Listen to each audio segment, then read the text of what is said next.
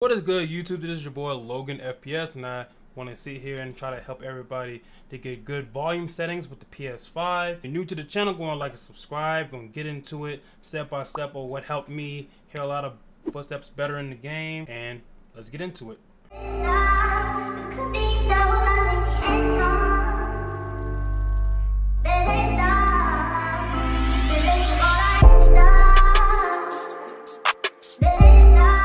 First thing first, what we want to do is we're going to go to the sound setting, uh, make sure your input device is either to the controller if you have it plugged up to the controller with your headset that is wired, or if you have a Bluetooth, make sure your input device goes to Bluetooth.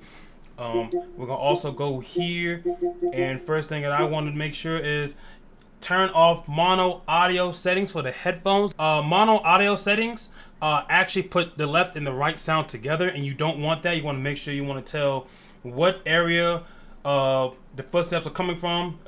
Either they could be above you, below you, left, right. And now we're to also get into the good part. Uh, if you have a PS5 and is updated, I highly recommend enabling 3D audio uh, for your headset. So what happens is if you go, so you can see here that you can adjust your uh, pitch from type 1 down to type 5. Type 5 being the lowest pitch, type 1 being the highest pitch. You can also go ahead and just adjust those to whatever you like. Here, as you can see, you got different type of compare when it comes to stereo and 3D audio. 3D audio is more surround sound uh, that can actually give you more detail in the game, and stereo is just more left and right. Doesn't give you that much detail, but I highly recommend going and choose the 3D audio. And speaking of surround sound, uh, I do have a surround sound headset that I like to use. is the JBL Quantum 600s. I really do like these headphones a lot. It helped me out. And when I put it on my Bluetooth, I can hear a lot of audio very clear. Also, when it comes to the 3D audio enabled for the headphones, it gives me a lot of detail what area the enemies can be coming up, left, right, top, or bottom. And also, we're gonna jump back over here. If you're in a group chat and you wanna actually adjust your volume, you can also do that. Make sure your output volume is in a good uh, setting, whether it can be the headset controller or either your Bluetooth. Make sure it's in uh, a good area to put this in. And if you're in a group chat, you know, if your homies is kind of loud, got kids crying in the back, something that is like, you know, bothering the audio if you're hearing your footstep, what I want you to do is actually use the audio balance and push towards left.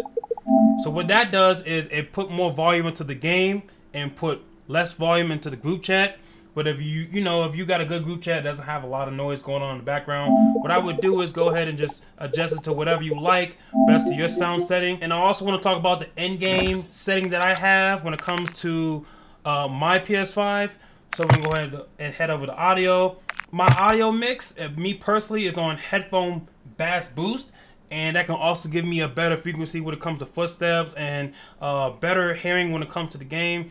As you can see, I do low-key blow my eardrums out. It is at 96, it's pretty high. But like I said, I also go back to the group chat, the sound, and I just adjust it the way I like it. Even here at this volume button uh, to wherever I like, give you more options. Uh, me personally, I turn the music volume off. Anytime that I have the volume, music volume up in Modern Warfare 2 or Warzone 2, it actually kind of with the pressure, having some type of anxiety when it comes to a clutch of 1v4 or 1v8 or when I'm the last one alive. Uh, that's just me personally. I mean, people are different. Dialogue is more of the audio, uh, more of the operators that's in the game. When they're close by, they can kind of talk around. They just uh, chat and do stuff like that. Uh, effects volume is more of the in-game effects, which comes to footsteps, doors being open, windows being busted, those things actually do help you. And voice chat volume, I have it kind of low because when I go into game chat, I want to make sure that the volume that people hear me with is not too loud over the audio in the game. So that's what I do personally to try to adjust my volumes. And what we're going to do is we're going to go into a private match and we're going to actually uh, give it a try and make sure we can observe these footsteps very clearly.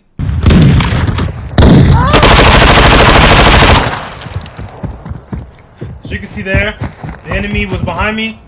I was able to move. And I can see with detail of where he's at when I move around. You can see he's coming from my right.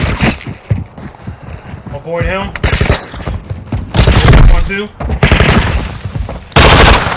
So now you can see I can hear footsteps very clear, even my own footsteps. And you can hear enemies, you can dictate what area they're coming from. As you can see that loud and clear. I'm able to hit a footstep of an enemy.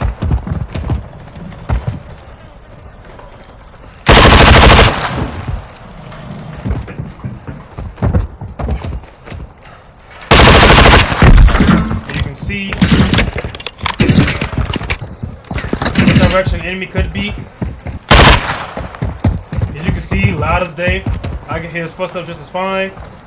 He's just walking around. I can tell which side he's coming from. Sees above. Sees down. So the audio for me has been working very well when I put it in these settings. Uh, if it does help you out, go ahead and drop a like and subscribe, baby. And uh, just want to, in the future, give more tips and tricks for PS5. I do currently know that there's been a few audio problems in Warzone 2 when it comes to people being close, you really can't hear them. Hopefully in the future they fix that. But for now, let's just see in the future what becomes for the upcoming things for Modern Warfare 2. But until next time, see you then.